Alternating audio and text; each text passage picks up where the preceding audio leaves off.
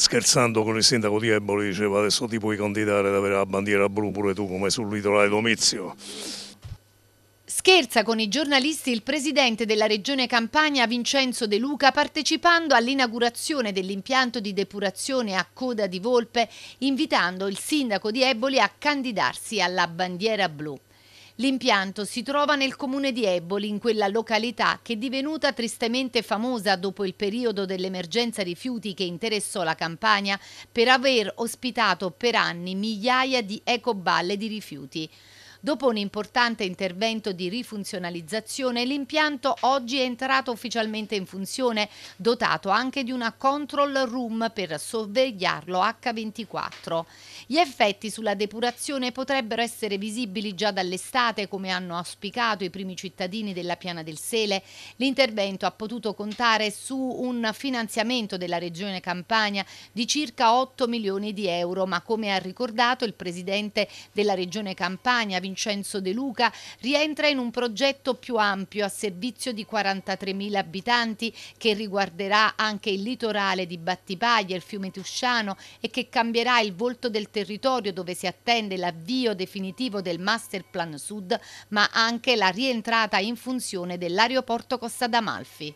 Pensate che fino ad oggi, fino ad oggi veniva scaricato tutto a mare quindi potete valutare l'importanza di questo intervento di collettamento, davvero una cosa importante. Ecco, ci sono 20 milioni stanziati per il master plan in questo territorio, quindi la costa eh, da Ponte Cagnano a Capaccio può essere veramente rilanciata?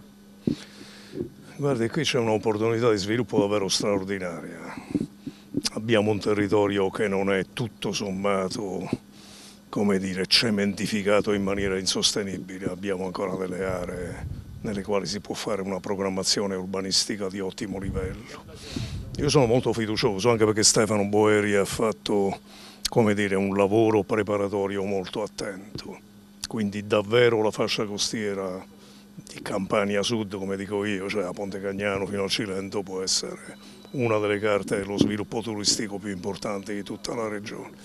Dobbiamo lavorare, ovviamente bisogna fare la corsa contro la palude burocratica, dobbiamo augurarci ovviamente che si sblocchino i fondi sviluppo e coesione bloccati da un anno nella palude burocratica del Ministero della Coesione.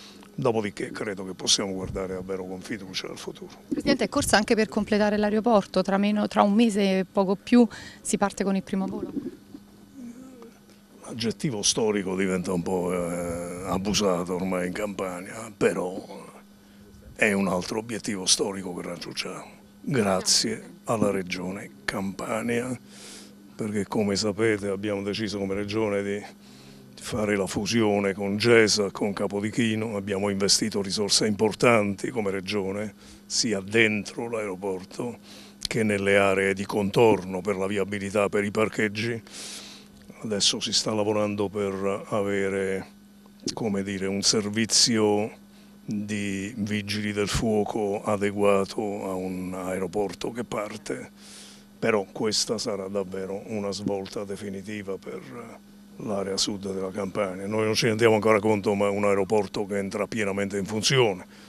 Parte ovviamente a luglio, ma nell'arco di due anni e mezzo, tre anni, noi contiamo di portare 3 milioni di visitatori qui. Un aeroporto cambia davvero il destino economico di un territorio.